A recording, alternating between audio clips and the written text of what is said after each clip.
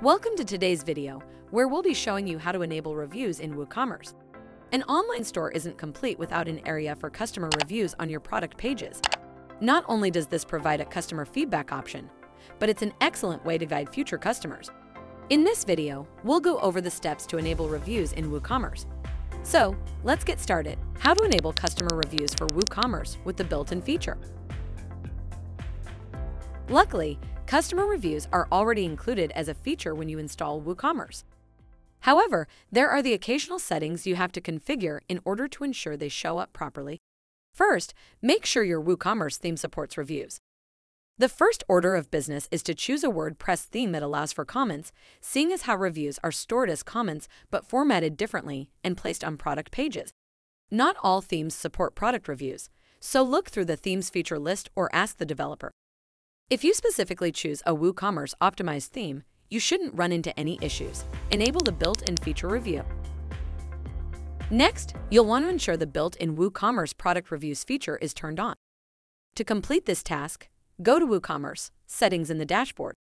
Select the Products tab. Scroll down to the Enable Reviews field and check the box to turn on the product reviews. Chances are it's already checked.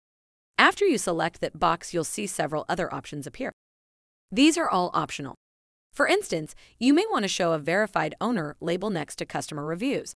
There are also fields for only allowing verified customers to leave reviews, along with a way to activate star ratings. Click the Save Changes button. Test your product reviews. To test out the reviews section, go to the front end of your website and visit a product page. Again, all WooCommerce themes are different. You may see the Reviews section compiled into a tab or accordion module. Other times the Reviews area may be lower or higher on the page. Look around that product page to locate them based on the theme's design. You can even test out the Reviews section by selecting a rating, writing a quick review, and clicking the Submit button. As long as the review is approved, it should show up in several locations, like under the Average Star Review area and in the Reviews tab. The reviews are available on the backend as well. Each product page provides a review section. You can moderate the reviews there and delete any spam, much like regular blog comments. As mentioned, reviews are simply a form of WordPress comments. The place to see product reviews in the admin area is under the products menu in the dashboard. Still not getting your reviews to show up? Reviews can be tricky because of the various settings required for them to run properly. If you've found that your theme does in fact allow for reviews, Follow these steps to troubleshoot why your customer reviews are missing. Begin by going to Settings, Discussion in the WordPress dashboard. This section handles settings for comments and the emails that you receive when a comment is made. Seeing as how reviews are comments, they must be configured the right way for the reviews to act properly. Many of these settings are useful but optional. The most important ones to enable include the following. Allow people to submit comments on new posts. Enable threaded, nested comments. Email me whenever anyone posts a comment and when a comment is held for moderation. Make sure you save the settings.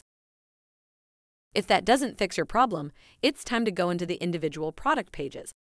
Each product has a setting to turn on slash off the reviews, just for that product.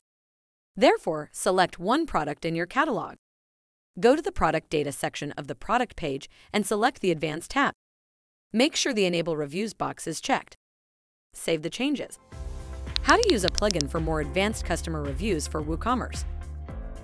The default customer review feature in WooCommerce provides the basic essentials for getting reviews on your product pages. However, you may notice desirable review features on other online stores, like photo uploading, enhanced review forms, and filters. Improving your customer reviews section requires a simple plugin, and there are many to choose from. For this video, we'll be using the Customer Reviews for WooCommerce plugin. Here's how to set it up. Install the Customer Reviews plugin. To get started, install the free plugin from WordPress.org. Configure product reviews. Go to Reviews, Settings in your WordPress dashboard. The plugin offers several areas to consider. For instance, it has multiple options to enable various enhancements to the standard WooCommerce reviews functionality. You'll find all of the configuration settings under the Settings tab. Please note that the Customer Reviews for WooCommerce plugin uses the native WooCommerce format so there's no need to deactivate or migrate the reviews you had from before. Review Extensions tab. Let's have a look at the Settings panel for Review Extension Settings. This is where the more advanced review elements come into play. For instance, you can turn on the option for users to attach images to their reviews. In addition, the plugin offers shortcodes to place your review section anywhere on your website. The Review Extensions settings page is rather long, so keep scrolling through the options to set up everything you need. Some other settings to consider include a review summary bar, a customizable verified owner tag, and the option for people to vote on reviews.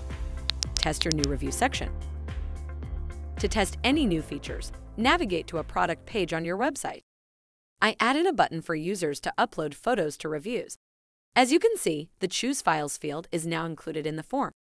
Several other elements have been activated on my test website. If you recall, I turned on the Reviews Summary feature, which shows the percentages of each star review. There's also a photo in the review that I submitted, along with a voting area for other customers to share if they found the review helpful.